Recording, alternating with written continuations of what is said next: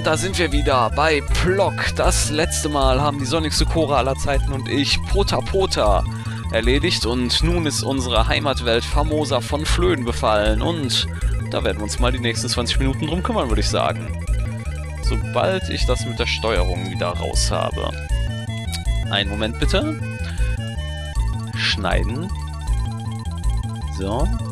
Jetzt vielleicht? Ja. Nicht schneiden. So. Wir sehen schon Zielscheiben. Was macht man mit Zielscheiben? Man schmeißt Glieder drauf. Hep. Und die kommen auch hier wieder. Hep. Großartig. So. Und das sind natürlich Bienen, äh, Wespen.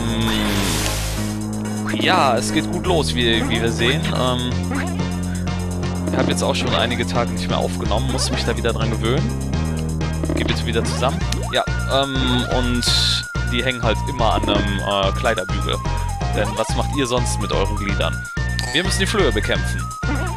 Flöhe sind bekanntlich in Eiern, das sind sie wirklich, sind blau, haben nur Beine und Augen und äh, klauen Fahnen. Geiles Spiel. Wie ich dieses Spiel liebe, großartige Musik. Ähm, die Eier haben aber witzigerweise einen Timer. Und, ähm, ja, das ist das Blöde an den äh, Flöhen. Irgendwann sind alle Eier einfach offen. Ach, die Musik ist wieder so laut. Ähm, ich mache mal kurz meine Kopfhörer leiser. Wenn euch irgendwie der In... Achso, ich habe sie schon sehr leise. Okay. Ähm, wenn euch der Ingame-Sound mal zu laut oder so ist, sagt einfach Bescheid. Ähm, dann... Und wenn der Ingame-Sound im Verhältnis zu äh, meiner Stimme zu leise ist, sagt einfach Bescheid. Äh, ja, dann schauen wir mal.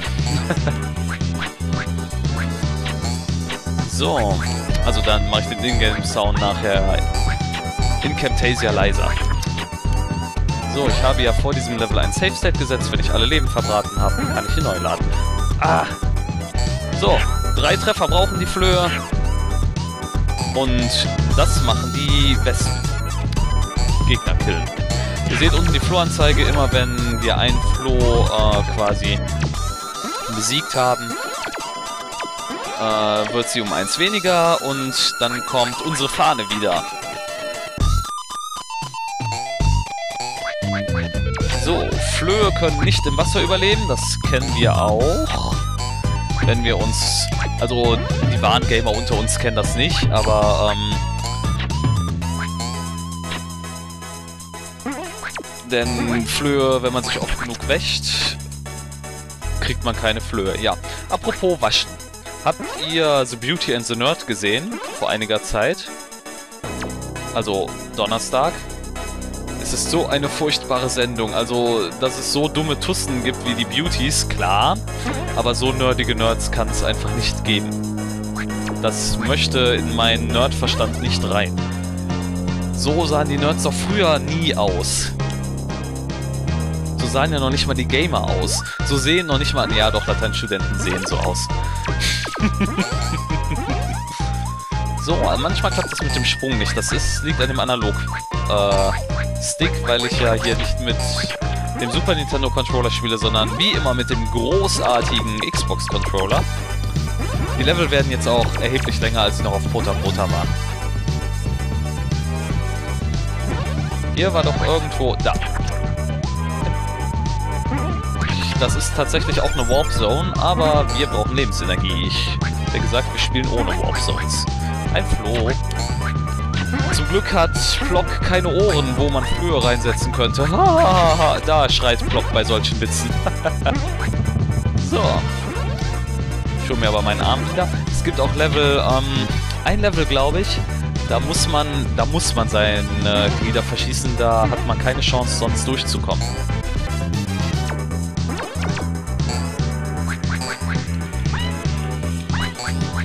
Ich hatte nur noch... Ah! Nein, nicht stimmen! So, ich muss die Flohfahne finden, denn die Flohfahne gibt mir Kraft. Da ist sie. Sie lädt mein Lebensenergie wieder auf. Warum wollte ich das abschießen? App. Nun ja. Wir haben noch ein paar Flöhe vor uns. Ja, wenn man die Flohfahne... Normalerweise findet man die Flohfahne nicht, bevor man seine eigene gefunden hat. Die Level sind schon so aufgebaut, aber kann man natürlich. Und ähm, wenn man nicht weiter weiß, kommt halt auch dieser Pfeil.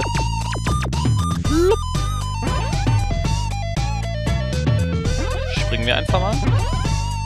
Ja, und überall, wo es so blau ist, ist es Floh verseucht.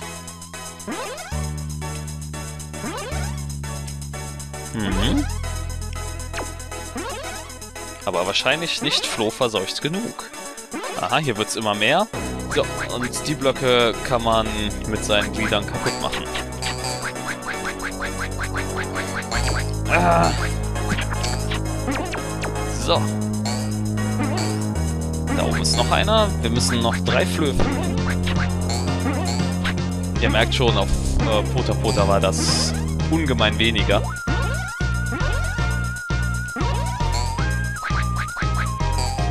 Kennt ihr noch das äh, Club Nintendo Heft? Das habe ich glaube ich schon mal gefragt. Äh, ganz groß damals.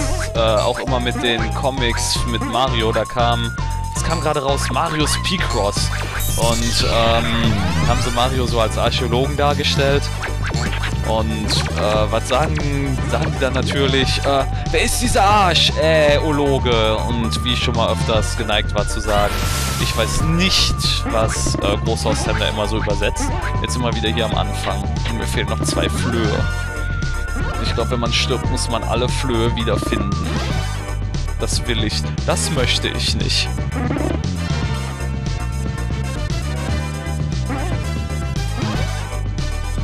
So wieder da hoch. Ja. So. Fliegen wir wieder mit dir. Fliegt auch erheblich schneller auf, auf schwer als auf leicht. Und geht auch erheblich schneller kaputt. So.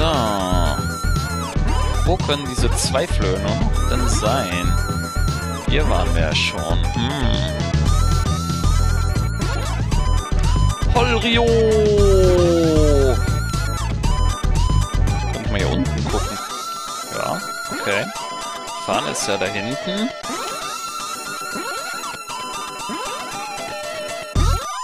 Mhm. Da war doch noch eben äh, noch so ein Muschel, genau. Das runtergeht. Gehen wir doch einfach mal. Ha! Komm näher. Da sind beide. Ich will euch nicht zu nahe kommen.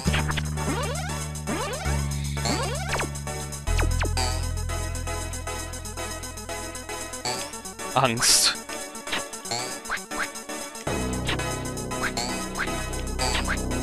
Ja. Aha, rückwärtig besiegt. Was ist denn hier unten? Ah, es geht. Hm. Okay, auf zur Fahne. Die Fahne fliegt automatisch zum Ziel.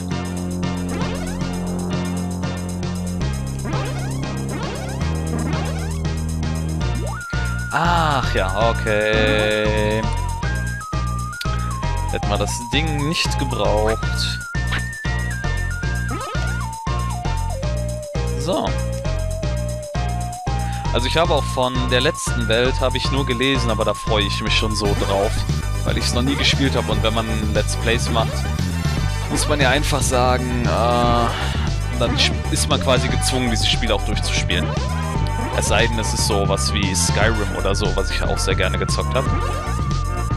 So, dann hier unten lang. Dann wieder da hoch. So, und ich hätte gerne an... Okay, ich habe die Dinge schon eingesammelt.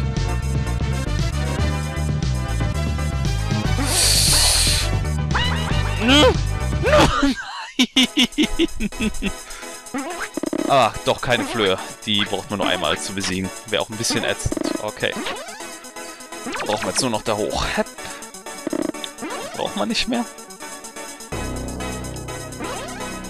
Ja, und diese Stacheln ziehen echt viel Lebensenergie ab. Wie ihr seht, wir haben jetzt schon 10 Minuten an dem Level ge ge äh, gesessen. Aber schon der Hälfte hatten wir schon halb Pota Pota rum. So. Dann wollen wir mal. Ich glaube nicht, dass das ein ewig langes Let's Play wird. Ich glaube, Tohumon wird uns noch etwas länger beschäftigen.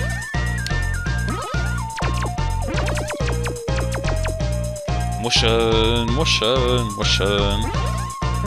Lebensenergie. Geh runter. Ach, ich brauche nicht alle Glieder. Oh, ich es aber vorsichtshalber mal mit. ich glaube, dass die Fahnen auch äh, die Glieder dahin teleportieren, aber bin mir da jetzt nicht hundertprozentig sicher. Oh. Das Block Continue holen wir uns aber noch.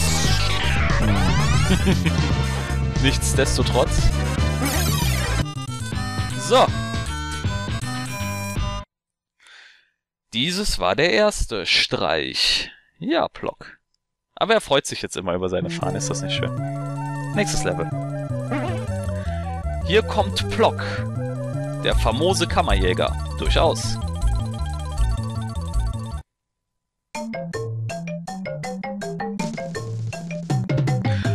Wenn ich mich richtig erinnere, dauert dieses Level ewig. Ja. Ja. Ja. Zu verkaufen. Wir mal, was sich hier befindet. Ah, die Dinger, da muss ich gut vorstehen, um die äh, kaputt zu kriegen. Gibt noch eine andere Möglichkeit, aber war das das, was ewig dauert? Aber dieses geile, äh, diese geile eine Stelle hatte. Die holen wir uns natürlich.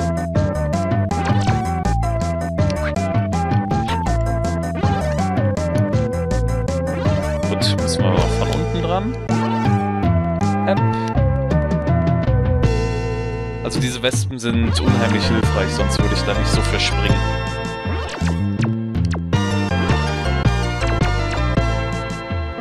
Ja, und richtig springen ist übrigens auch ziemlich hilfreich in diesem Spiel. Ach ja. Nach rechts kommen wir bestimmt auch noch. Ich weiß gar nicht, gibt man sich heute noch so Mühe bei Jump'n'Runs, dass das alles so getimed ist? Ich glaube ja. Wir mal, was uns hier erwartet. Ah ja. Bitte, juhu, Glück gehabt. so, hier. Einmal rundherum, bitte. Und einmal hier hoch. Und hier oben ist nämlich schon die Flagge. Ich nehme noch mehr von diesen Wespen mit. Die Flagge spare ich mir erstmal auf.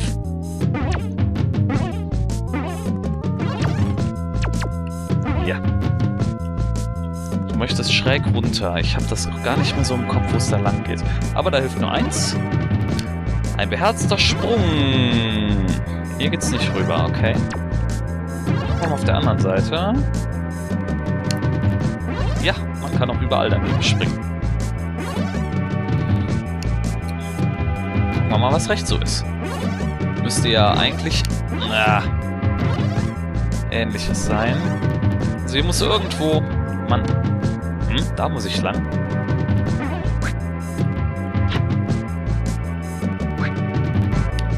Ist das Level nicht symmetrisch aufgebaut? Scheinbar nicht. Äh, ja.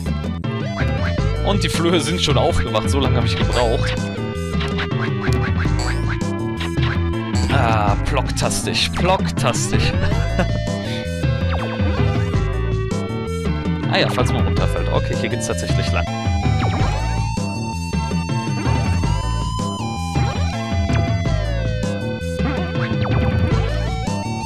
Ja, genau, ich hol mir das noch nicht. uh. Also wenn ich nur noch auf einem Bein bin, dann. Uh, gleich schon kaputt. Ja, ich habe mich noch nicht an, an den Schaden der Gegner gewöhnt. Entschuldigung. So, ah, ja. Meine Schuld. Seht es mir nach, aber ich glaube, ihr habt viel mehr Spaß daran zu sehen, wie ich kaputt gehe. Oh, ich habe auch gar kein Save-Stat gesetzt. 1, 2, 3. Ihr macht das bitte.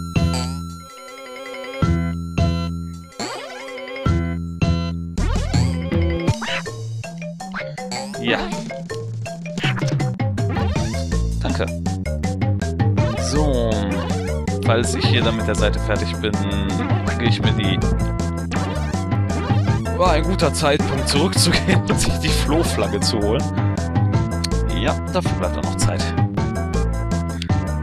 Also ich kann mit einem Bein nicht so souverän laufen und äh, die Screw Attack machen wie Block. Ja, aber Zeitpunkt, um äh, ein Safe State zu setzen.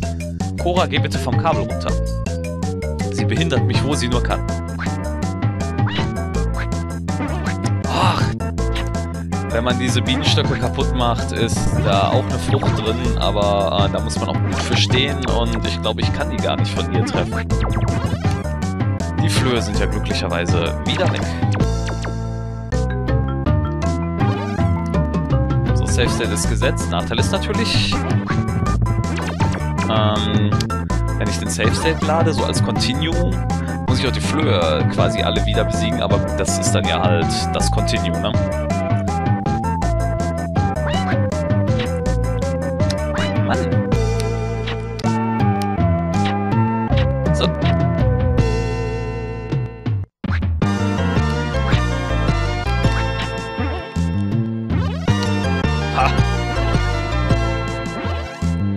darf ja echt nicht viel getroffen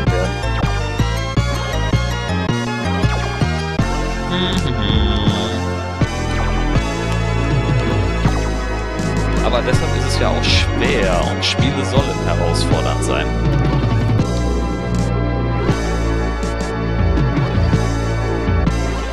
So. Ja, folge den Muscheln. Ein Geschenk. Na, was bin ich jetzt? glaube, das ist Sherlock Block. Nein, das ist doch nicht das tolle Level. Ah, und das ist, mit diesem Geschenk ist es direkt erheblich einfacher.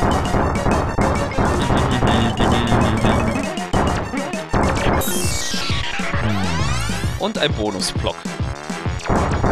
Direkt mal drei Flöhe dezimiert. Ja, Lebensenergie, sehr schön.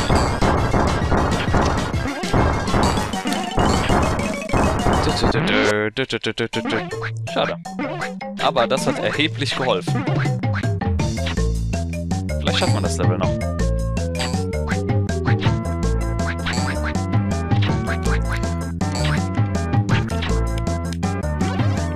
So, dann einen großen Schwung darüber. Gut. Dinger kann man ja nicht besiegen. Mit einem großen Sprung auch da hinüber. Mit einem kleinen Schwung da herunter. Ah, ein Floh. Den hätte ich sicherlich vergessen. Äh, sehen Flöhe wirklich so blau aus? Hep, hep. Hm. So. Zwei noch. Einer war ja hier. Ich halte mich aber mal noch hier auf. Ah, stimmt, nicht springen. Ah, hat mich nicht mehr getroffen. Gut. Mhm. Ah, ich glaube, das machen wir noch flott zu Ende. Kann nicht so schwer sein. Hier runter. Ja, und da ist der letzte. Genau, ah ja, das hat mich beim ersten Mal so abgefuckt, den hatte ich vergessen. Bin dann den ganzen Weg zurückgelaufen. Ja, um äh, meine Glieder zu holen. Jo, jo, ich erinnere mich. Das kann jetzt einen Tacken dauern. Muss es aber nicht. So. Ähm, ja, so springe ich... Genau. So soll ich nämlich springen.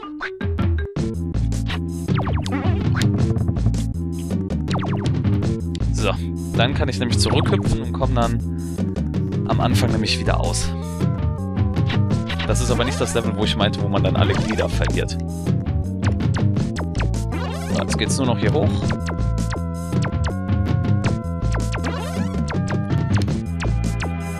Weiß jetzt nicht, ob hier bei den Muscheln Bonusblock rauskäme. Aber hier haben wir eine Fahne. Oh, die holen wir uns noch. So. War das schon alles? Ja, du bist gestorben, mein Lieber.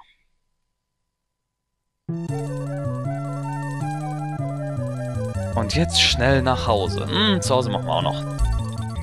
Denn hier folgt dann, ähm, wie ihr seht, ein Floh und dann folgt nämlich das Besondere. Ich habe dich berührt. So, hier, Rambo-Block. Ja, und werde natürlich von einem Floh auch getroffen. So, was aber passiert, wenn wir die Fahne hissen? Das seht ihr das nächste Mal, wenn es wieder heißt Plock mit mir, Fudel und der sonnigsten Chor aller Zeiten. Wenn es euch gefallen hat, liken, teilen, kommentieren. Bis dann.